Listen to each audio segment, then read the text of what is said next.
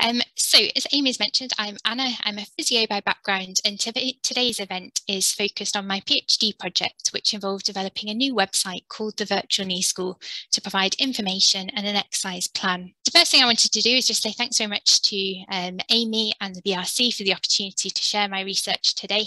Um, and also a special thanks to Barbara and Ruby, um, who are kindly um, going to be sharing some of their views during the presentation. And our aim with the presentation is to provide an overview of the Virtual Knee School project. And we hope that this will give you an insight into a range of different areas, including knee replacement, um, how research can be used to develop digital tools, um, and also how patient and public involvement is really important to the research process. So the plan for the presentation is that first of all, I'm going to give a bit of background to the project and outline its aim. I'm then going to discuss patient and public involvement in the project alongside uh, Ruby and Barbara. Um, and just and patient and public involvement. This is really referring to um, patients, carers and other members of the public being actively involved in helping with various parts of the research process. So this can include things um, like helping to review documents, helping decide what to include in the website, etc. So it's a bit different to actually taking part in the research as a research participant. So after we've given an overview of the patient and public involvement, we'll move on to summarising the project and then discussing each separate phase in turn. I'm then going to summarise the overall conclusions from the project, and then we'll talk a little bit about what we're thinking in terms of possible next steps now we've finished the project. And then, as Amy said, there'll be an opportunity for questions at the end. So the first thing we're going to do in terms of thinking about the background to the project is watch a video from the Virtual Knee School. And this explains a little bit about what happens during knee replacement surgery. So I'm just going to share that um, video now. I think we've got it up here. Hopefully that will all work okay. And I'll play that video now. In a healthy knee, the ends of the bones are covered with a protective material called cartilage. The cartilage provides a smooth surface so that the bones move easily on each other. If the cartilage and other parts of the knee are damaged, it can cause a lot of pain. To help with the pain, total knee replacement surgery may be carried out. This involves replacing the damaged knee joint with an artificial one. During total knee replacement surgery, the surgeon makes a cut in the skin over the knee. The surgeon then removes the damaged ends of the thigh bone and shin bone and replaces them with smooth artificial materials. Different materials may be used, but usually the ends of the bones are replaced with metal and a plastic tray is put between them. Sometimes the surgeon also replaces the back of the kneecap. The surgeon then closes the wound with stitches or clips and puts a dressing on top. The artificial joint allows the knee to move more easily, which helps to reduce pain.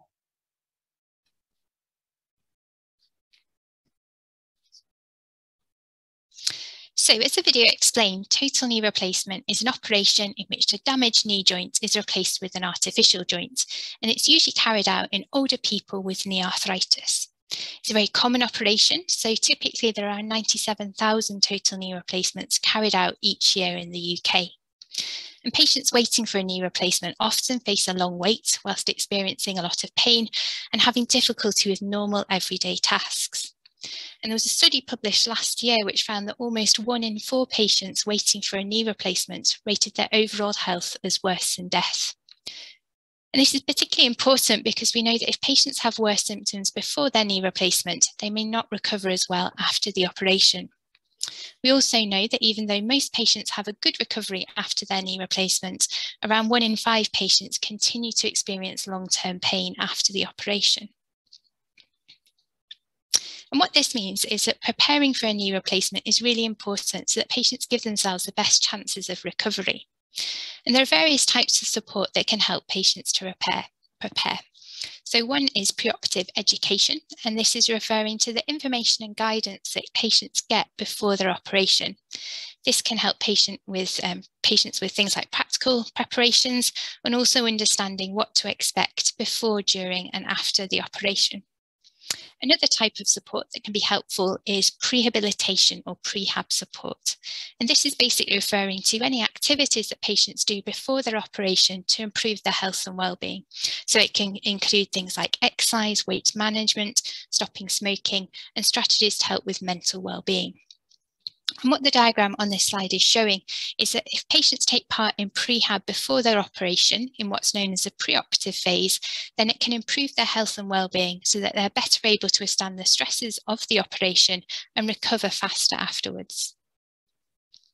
So this raises the question of what preoperative care do patients actually get when they're waiting for a knee replacement?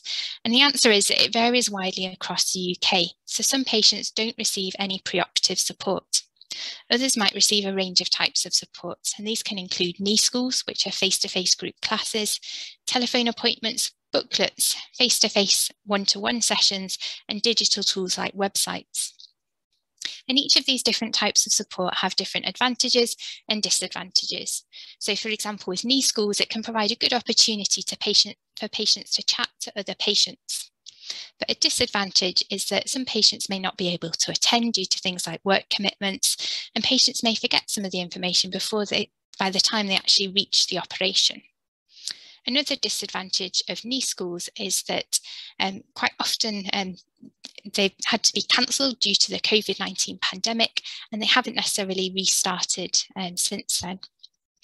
So digital tools have been suggested as a useful approach for overcoming some of the limitations um, of approaches like knee schools because they can deliver care remotely. And we know there's been a big push from the government to increase the use of digital tools in the NHS because they offer various advantages, um, like being able to provide more personalised care and being able to provide care to large numbers of people at relatively low cost. But digital tools do also have disadvantages. So for example, there's a real risk that they could increase unfair differences in health between different groups of people, because we know that the people who are most likely to need the most support may be the same people who are least likely to access digital tools. So before starting my PhD project, I explored these issues further through discussions with members of the NIHR Leeds Biomedical Research Centre Patient and Public Involvement Group. And these showed that patients were frustrated by the variations and limitations in care. They felt that the internet can be a useful resource, but they were concerned about websites being unreliable and not tailored to patients' individual needs. So they felt that a new digital tool developed with and for patients could be valuable. So this led on to developing my project. And the aim of my project was to develop a new preoperative knee replacement digital tool called the Virtual Knee School to provide information and an exercise plan to patients waiting for a knee replacement. And we took patients' feedback on board when um, planning the project. So for example, we decided to develop the digital tool as a website rather than a mobile app to make sure it was accessible to as wide a range of people as possible. So I just wanted to explain a little bit more about the patient and public involvement in my project because it was really important to make sure that patients' views stayed the driving force behind the project and also to make sure that the website was usable, accessible and engaging for as wide a range of patients as possible. So as I've mentioned, I carried out uh, discussions with eight patient and public involvement representatives to help plan the project. And then I carried out a range of different patient and public involvement activities during my project. The main ones were that three PPI representatives were valued members of my project advisory group, and eight patient models were filmed to create videos and photos for the virtual knee school. And just to explain a little bit more about the project advisory group, this was a group including patient and public involvement representatives and professionals, and it met around every six months during my project. And the patient and public involvement representatives also took part in other activities in between the main meetings, such as helping to decide what to include in the virtual knee school. So Barbara has been involved as a valued member of my project advisory group right from the very beginning, and she's kindly offered to share a bit about her motivation for getting involved in the project. So we're going to switch over and watch a recording from Barbara now. So I'll just bring that one up.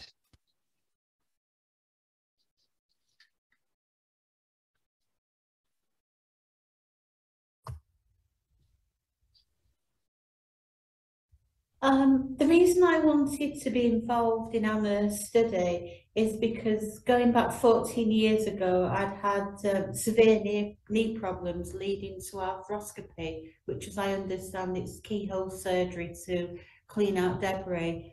Um, not a very exciting experience, but one that lingers in my mind as well because I didn't have any information as to what to expect, what to prepare for, or actually any aftercare. And I think this has been a legacy that's really contributed to me prolonging going for knee surgery, which I should have had back three years ago, and I'm absolutely struggling now.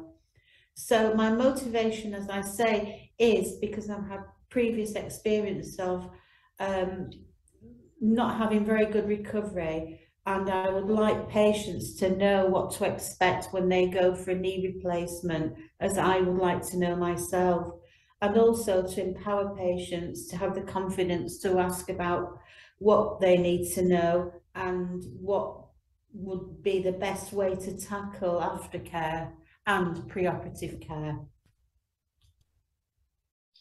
Great, so thanks Barbara for that. Ruby has also been um, a valued member of my project advisory group and one of the main reasons that Ruby got involved in the project is because she has a lot of experience and expertise in making research more inclusive and one of our um, priorities during the project was to make sure that it was as inclusive as possible. So Ruby, would you be happy to maybe share a little bit about why making research inclusive is so important?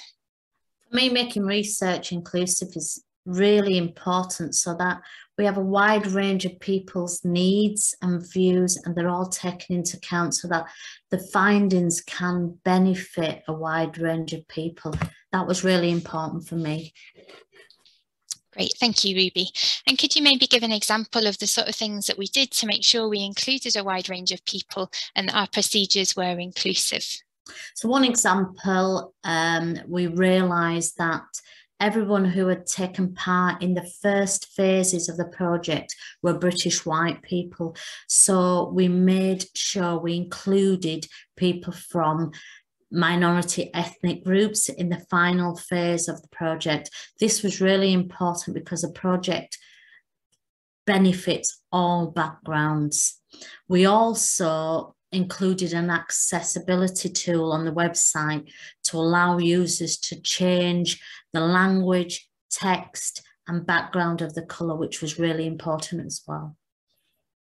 Great, thank you, Ruby. So next, so just wanted to give a summary of my overall project so you can see how everything fits together. So the project was made up of a number of smaller studies and the studies shown in blue were all around sort of planning what to include in the website. And then these led into the final phase of my project, which is shown in green. And this involved developing a draft version of the website and then improving it based on patient feedback. And I hope that, that is that this is going to lead on to future work where we can test the website to work out if it has any benefits. So the first phase of my project was reviewing past research on what preoperative knee replacement care should include and how the care should be delivered. So this involves screening over 3,000 articles based on a brief summary of the article and then reviewing the full text reports of 185 articles. This led us to including 52 studies in the review. And we included two types of studies. One was a type of study looking at whether specific types of support have any benefits, and the other was a type of study looking at exploring patients and health professionals' views of specific types of support.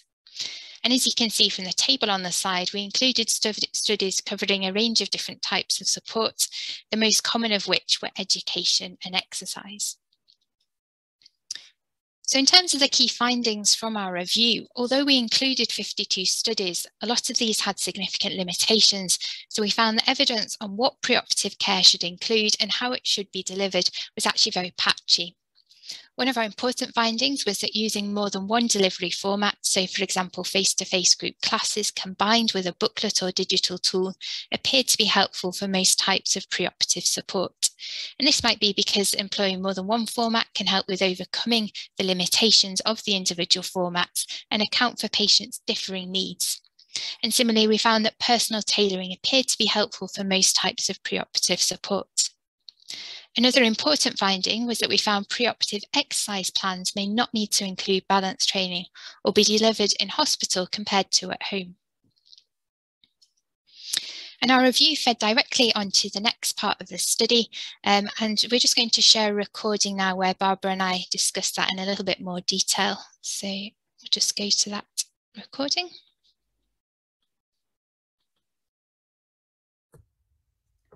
So the next stage of our project was focused on developing recommendations on preoperative knee replacement care. We developed the recommendations for two purposes. One was to provide a resource to help health professionals decide what preoperative care to provide, and the other was to help us decide what to include in the virtual knee school. We used a type of study called a modified Delphi study, and this basically involves asking a group of experts called panel members to complete a series of questionnaires to gain agreement on a particular topic. And in our study, we had 60 panel members, including 30 patients and 30 professionals. We used three questionnaires and all of these included an initial list of recommendations on preoperative knee replacement care. So this included things like information topics, types of exercise, and ways of delivering the information or exercise. We developed a draft of the initial recommendations based on the findings of our review. And to help make sure it was appropriate, we asked various people to test it. And this included our patient and public involvement representatives. And Barbara's kindly offered to share some of the feedback she provided on the draft um, set of recommendations. So firstly, Barbara, I know there were a few extra items that we hadn't included initially that you felt it would be helpful to include. Are you happy to provide an example of one of those, please? Yes, I thought that heat and cold applied to uh, your knee uh, was was a useful uh, area to include because I know I derive a lot of comfort from having a hot water bottle um, priced between my knees when it, the pain's so bad, or alternatively something cold, maybe a cold kind of um, pop, or even a you walking stick, the metal against your bare knee, inside of the knee, if that's where your pain emanates from. It seems to bring some comfort various times it would be alternatively one or the other or I'll try both at the same time when the pain's intense just to try and get a little bit of relief. Thank you, Barbara. Yeah, so we hadn't included using heat and cold in the um, draft set of recommendations, but then we added that in as an extra information topic. Um, so I know there were also a few items that you felt it'd be helpful to change, Barbara. Um, so for example, where we'd included um, an item in the initial recommendations, but you felt it needed to be made broader or clearer. Um, are you happy to provide an example of one of those, please? Yes, I thought just the general term osteoarthritis or osteo uh, problems was not really going to hit the button for me as regards knee problems because mine does emanate from rheumatoid arthritis that has caused a destruction which has led to osteoarthritis. So connective tissue disorders lots of different reasons why people might need a knee replacement. And I would hate to think that people don't use this valuable resource to look at preoperative uh, care before uh, having a knee replacement if they think it only applies to osteo osteoarthritis um, diagnosis. Yeah, I think that's that's a really really good point. Thank you, Barbara. So we'd initially included osteoarthritis as one of the information topics. Um, but as you say, although osteoarthritis is by far the most common reason for having a knee replacement, there are other conditions that can lead people to having a knee replacement. So we changed it from osteoarthritis to health conditions that may contribute to needing total knee replacement surgery. And then lastly, I know there are a couple of items where you felt it'd be helpful to explain the terms we were using because I know you had some concern that people completing the questionnaire might not know exactly what those terms mean. Are you happy to explain a, a bit more about that, please, Barbara? Yes, I just thought um, the recommendations which spelt out health professionals in particular, I thought we really, or I personally, would like to know a little bit more detail about what they actually offer, such as the occupational therapy team and the social work team. Uh, and if there was some information in there as to what they actually do, their role and what they provide, I thought that was quite a, a useful thing to have, especially in the event that quite a few people do need knee replacements as they get older and are involved with the social work team or maybe even occupational therapy. So um, it's something that they can use as a resource to uh, explain the problems regarding the knee as regards appliances and various uh, changes, adaptations in the home. And so if you know more about what social work team do, then you're more apt to want to um, involve them with this website and actually uh, let them know that you're having a knee replacement and ask them for some advice as well. Great, thank you, Barbara. Yeah, so we'd initially just listed the different teams like the orthopaedic surgery team, the social work team, the occupational therapy team. But what we then did is we added some more info options. So you can probably just see on this slide, there's a little button that says more info. So we added some information there so that if um, people completing the questionnaire clicked the more info button, they were given an explanation about what that particular team could offer. So in all the questionnaires, we asked the panel members to rate how important they felt each item was, as shown in the example on the slide. In the first questionnaire, we also gave the panel members the opportunity to suggest new items. And then in the second and third questionnaire, we provided a summary of the panel members' responses to the previous questionnaire. And we used the findings of the third questionnaire to develop a finalised list of recommendations on preoperative knee replacement care. So our final recommendations were developed in two different versions. We developed a summary version that was primarily aimed at health professionals and a prioritised version which was particularly helpful for us for informing the virtual knee school. And as the table shows, we included quite a large number of recommendation items, the largest proportion of which were education topics. We also included quite a large number of education exercise delivery approaches and quite a large number of exercise types. We included two other preoperative treatments, and these related to providing weight management, um, weight management program, and also to offering patients with anxiety or depression referral to cognitive behavioral based therapy, which is a type of talking therapy. So the next phase in the project was focused on finding out patients' views about what might encourage patients to use the virtual knee school or prevent them from using it. And to do this, I held group discussions with 14 patients who are either waiting for a knee replacement and or had previously had a total knee replacement.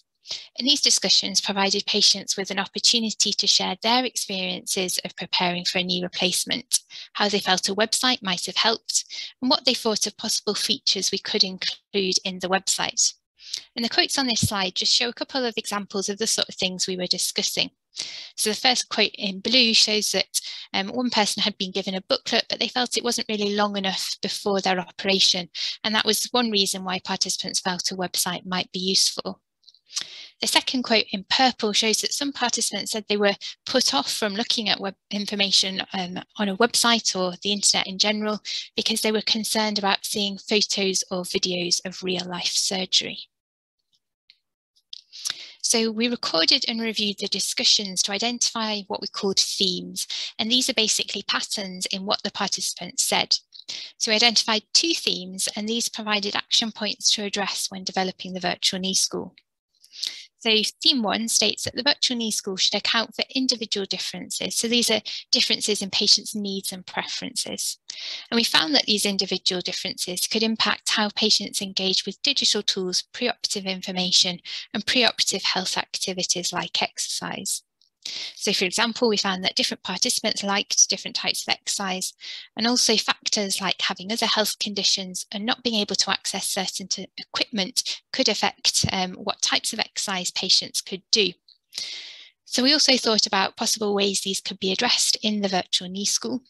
So, for example, um, we felt it should provide a range of different types of exercise that patients could complete at home without requiring any specialist equipment.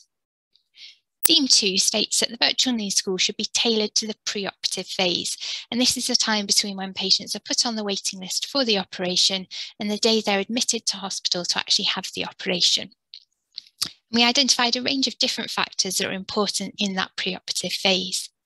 These include physical and mental factors like pain and patient's beliefs, social and work related factors like being busy with other commitments, and limitations in preoperative care, such as not being given any advice about preoperative exercise. And again, we identified how the virtual knee school could address some of these factors. So for example, participants felt that exercise email reminders might be helpful for people who forget to exercise due to being busy with other commitments. What we also did was to enter our findings into summary tables, and these included anything that might prevent patients from using the website, which we called barriers, anything that might encourage patients to use the website, which we called facilitators, and then design ideas about how we could address these barriers and facilitators. And we created separate summary tables for the different types of behaviour that the virtual knee school was aiming to support. And this just provides an example from the exercise summary table. So an example of a barrier was that we found some patients may be afraid of exercising for a fear of damaging their knee further. So a way that this could be addressed in the virtual knee school is to provide reassurance that it's safe to exercise even if patients have bad knee arthritis. An example of a facilitator that could encourage patients to exercise is the ability to track when patients have completed their exercise, for example, through an online exercise diary. And what participants also suggested is that it would be helpful to have a principal exercise diary so that they could record their exercises without needing to keep going back to the website. And then the bottom row shows that we found some barriers and facilitators that were related to each other. So for example, we found that setting goals and not meeting them might put people off exercising. And some participants said they just really dislike goal setting. However, the other participants said that setting goals, reviewing the goals, and then receiving feedback on those goals could be really motivating and encourage them to exercise. So ways we could address this in the virtual knee school include providing an optional goal setting feature, printable goal setting sheets, and guidance on setting realistic goals. So our final planning phase for the website involved using behaviour theories, which are basically ideas about what affects patients' behaviour.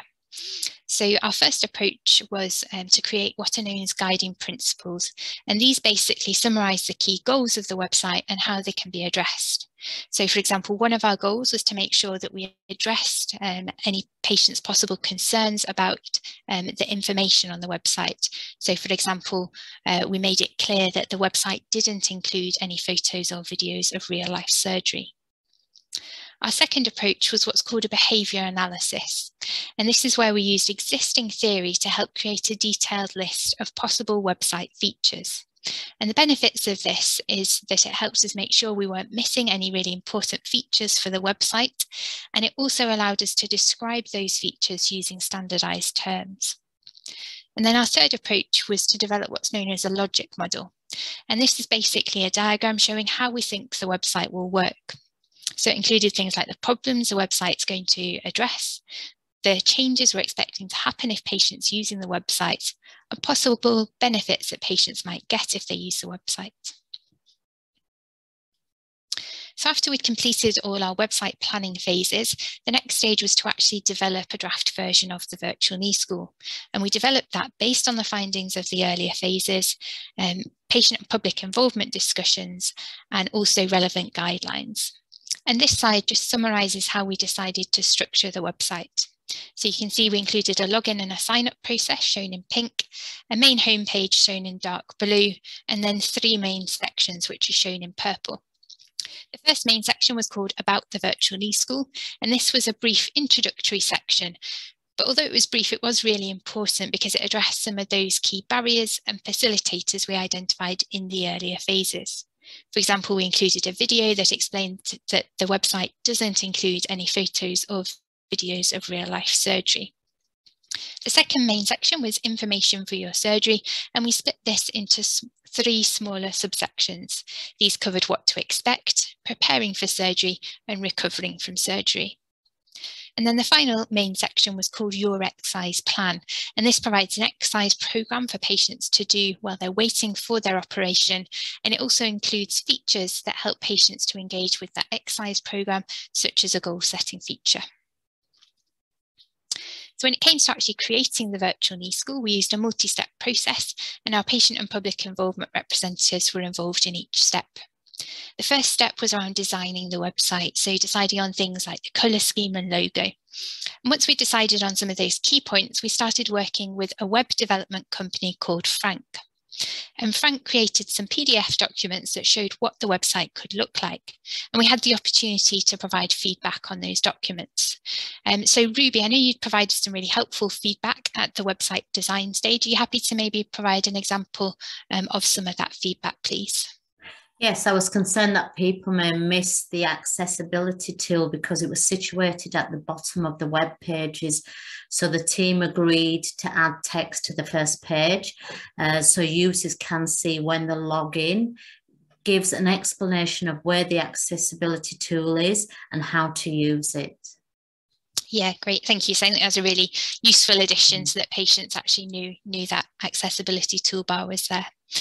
So the next stage was around building the draft website. So um, it was Frank, the web development company, who started to build the draft website. And then we held a couple of um, what we called sort of discussion sessions to view that draft website um, and have an opportunity for feedback. So again, Ruby, could you maybe provide an example of some feedback you provided at, at that stage? Well, the initial plan was to include goal setting feature, a goal setting feature that asked users to set weekly exercise goals and only allow users to review the goals after a week. But I felt it would be useful for the goal setting feature to be as flexible as possible. So together we actually agreed to make it possible for users to review their goals at any time. And we adopted the wording so that users were asked whether they carried out their goals as planned rather than referring specifically to last week. Yeah, great. So that was a really helpful way we could make the, the website more flexible to adapt to patients' differing needs. And then the last phase was where we had an opportunity to actually test the draft website ourselves. Um, and again, Ruby, I know you highlighted lots of really, really valuable points there. Please could you maybe give us an example of one of those? Well, I found initially the videos on the website did not show the captions or subtitles automatically. So I suggested changing the settings so that the captions, subtitles, this showed automatically and also include the instructions to explain how to change the video settings. Um, the instructions were added in a box above the videos so that users can click on that display. Um, so it showed you how the how to follow through to switch on the captions. Great, thank you, Ruby. Um, so what we thought we'd do next is watch one of the um, exercise videos because we're aware we've probably all been sat down still for quite a while. So you're very welcome to join in with this exercise video if you'd like to. Um, but obviously if you have been advised not to exercise by a health professional or you have any other concerns, we'd ask that you please don't try the exercise. Um, so we'll just switch over to that video now.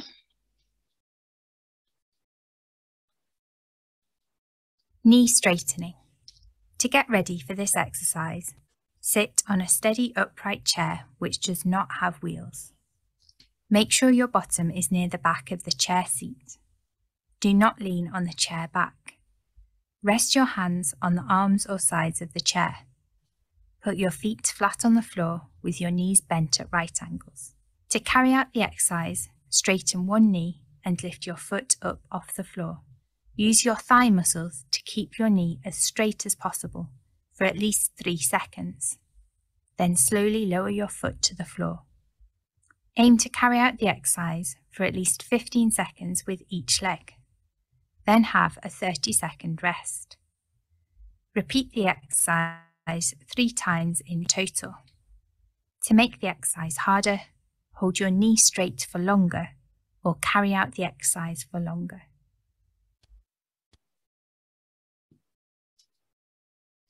So after we developed the draft website, I carried out what are known as Think Aloud interviews with nine patients who are waiting for or who previously had a knee replacement.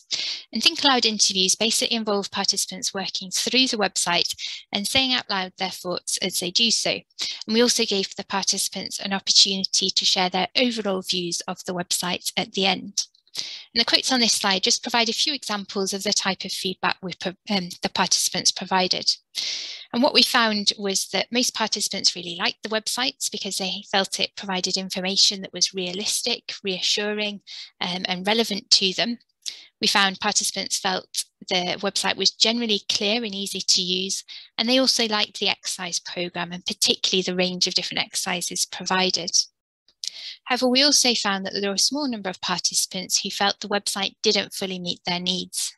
For one participant, this was because he felt the information was irrelevant because it wasn't um, new information to him. He knew it all already.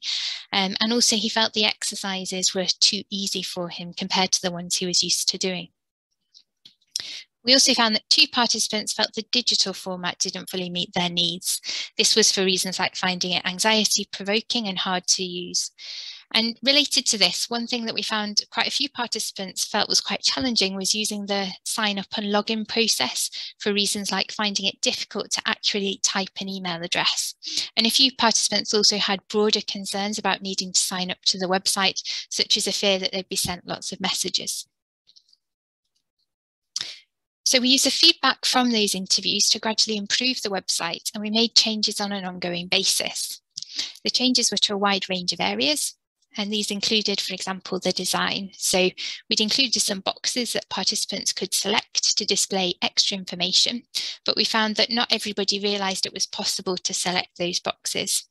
So we addressed this by adding some text to explain that users could select the boxes, and we also changed their colour from purple to blue to make them different to the other um, buttons on the website. We also made some changes to the structure, um, and the, the biggest change was uh, to the information section. So as I've mentioned, we initially included one information section with three smaller subsections. And what we found was that when participants selected the drop-down menu, which is shown in dark blue at the top there, and they could see all the different information pages at once, which was 24 pages, it felt a bit overwhelming. So what we did was we changed each of the information subsections into a main section by itself. And this limited the maximum number of pa pages that patients saw at once to eight, which was a lot more manageable. And then we also made some changes to the content. So for example, we'd initially advise users to carry out five exercises in each session, but due to some concern that that might be too many for some people, we adapted the text to say that any number of exercises will have benefits and patients can build up to five exercises if they need to. So what we thought we'd do next is um, give you a brief tour of the virtual knee school because at the moment it is only accessible through a, um, a regulated sign-in process. So we'll just go to the virtual knee school now. So hopefully you can see that. Uh, this is the home screen. You can see we've got a little introduction to the website here and we've got the help and log out buttons at the top. We've got a few different ways of navigating around the website. So one option is to type text into the search box here, and then that will bring up a list of pages that um, are relevant to whatever you typed into the search box. Another option is to use the drop-down menu. So that's by hovering over these uh, titles at the top, and then you can see all the pages in a particular section. And then a third option is to use the buttons on the pages. So if we go down, this is the home page, so it shows buttons to each of the main sections. So for example, if we select preparing, that will take us to the preparing for your operation section. And then if we go down, we can see all the different pages that are in that section. So if we select one of those buttons, that will take us to that individual page. And you can see here we've got a little bit of text We've then got um, some of these boxes that I mentioned that you, you can select to view extra text. And on this page, we've also got some videos. You can see we've got uh, the information here that Ruby mentioned about how to play the video and change the settings.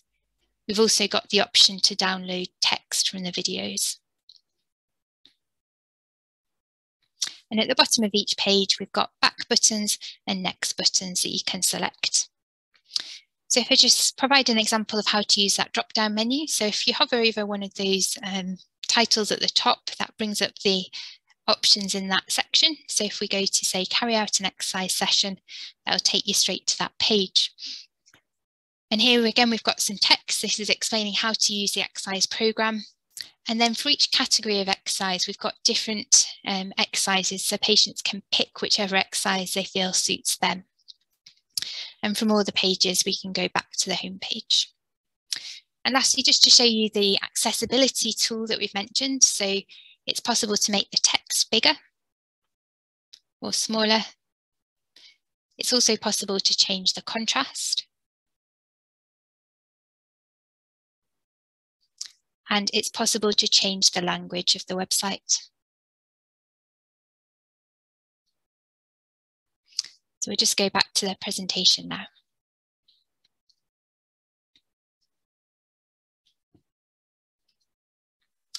So after we'd finished all the different phases of the project, I combined the findings of the phases to develop two overall conclusions. And these both provide recommendations that could be applied to research and clinical practice. The first conclusion is that patients should have access to a wide range of preoperative care in digital and non-digital formats. And this is because we found that patients generally value wide-ranging preoperative care as long as it's in a format that meets their needs. We know that digital formats have specific benefits. For example, they can provide detailed information quickly and they can include things like videos, but also that, digi not, that digital formats don't meet everyone's needs. So it's important we also provide non-digital alternatives. The second conclusion states that preoperative digital tools should offer automatic tailoring and allow patients to tailor the tool themselves. And this was because we found that tailoring tools to patients' individual needs and preferences is really important. And there's two main ways we can achieve that tailoring. One is automatic tailoring, where patients enter details into the website and then its content is adapted based on whatever details they entered. And an example of this in the virtual knee school was the goal setting feature. And this is what allowed patients to set goals, review their goals, and then receive personalised feedback, which some participants felt would be really helpful. And another tailoring option is to allow patients to tailor the tool themselves, for example, by offering a choice of different exercises. And this is helpful because it gives patients more control and ownership over what they're doing.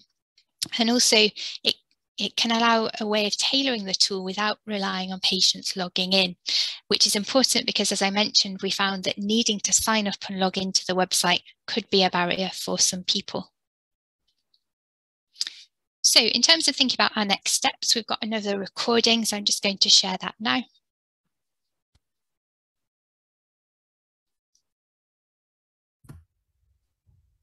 So we're still in the process of working out what our next steps are going to be after this project. And we've identified a few priorities to help us decide what to do. And one of these is to make sure that our next steps are driven by what patients want. So Barbara is going to share what she thinks is important for our next steps. Um, I think putting it into practice, and that is to say, let it go live in its um, full capacity as a resource for, for patients uh, certainly empowering them to be able to ask healthcare professionals uh, more poignant questions about the preoperative care and post care. Uh, and if there's a website there that they can educate themselves with, this gives you the confidence to want to ask professionals questions. So yes, if we can see it go live, that'd be fantastic, I think. Um, and I do think also that uh, uh, raising awareness, especially with health professionals, is a, is a must so that they in turn can help you, that they need to be aware that this resource exists. Uh, back to my point where I was explaining that it's nice to have um, them involve the social workers, occupational therapies and so on teams. And if they're aware of the site, then they understand what they're actually being asked because they can view what the site tells you, what it's offering as regards patients and professionals to pre-operative and post-care. Great, thank you, Barbara.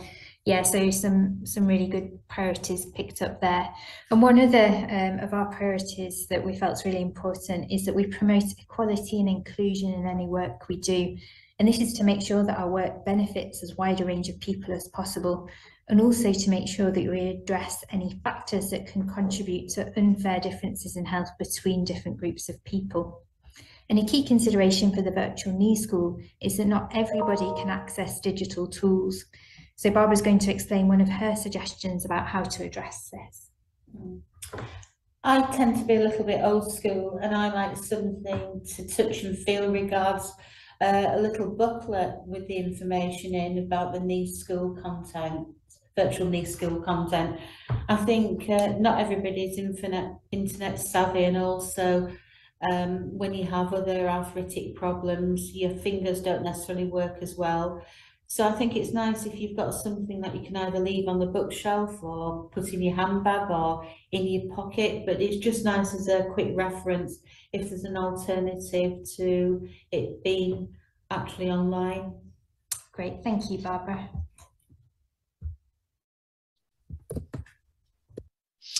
So as Barbara's explained, having a booklet could be really helpful for some people. Um, but as I mentioned, we also know that digital tools have specific advantages over booklets, such as being able to include videos. So it's important to support people to use digital tools if they'd like to. And Ruby has some really helpful insights into this area. So Ruby, please could you maybe provide an example of how we can support people to use digital tools and maybe address some of those barriers that people may face? One of the options for people who don't have much or any experience of using digital tools is to provide a digital uh, provide digital mentoring, uh, which can be in the mentee's own language. Another barrier some people may face is that they may not have access to digital tools and data, but there are organisations that can help with that. For example, providing loans um, providing or loaning digital devices and providing free data. There are digital support organisations uh, which are highlighted on the um, slide. Um, so organisations such as 100% Digital Leeds and Good Thing Foundation do support people. Great, that's really helpful. Thanks, Ruby.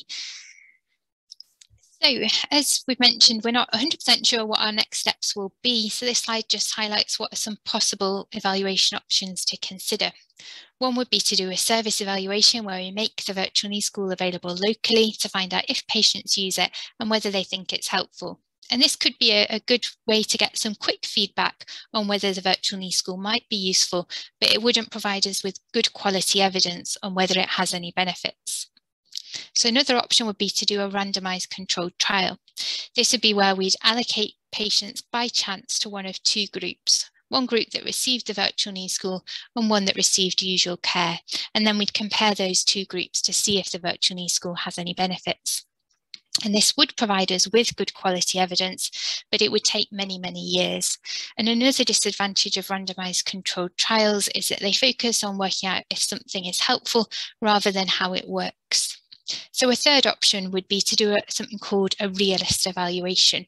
This would involve exploring how a range of people use or don't use a virtual knee school to find out what works for whom, in what settings and why. This is quite a complex design, so again, it would take quite a long time, but um, probably not as long as a randomized controlled trial. And the other main benefit is that it would provide information that's really meaningful, particularly if we're wanting to think about things like whether the virtual knee school has any impact on unfair differences in health between different groups of people. So just to summarise the take-home messages from our presentation, we know that preoperative knee replacement care varies across the UK and it doesn't meet all patients' needs. To help address this, we've developed a new preoperative digital tool called the Virtual Knee School. Patient and public involvement was central throughout our project to make sure that our research and the Virtual Knee School meets patients' needs.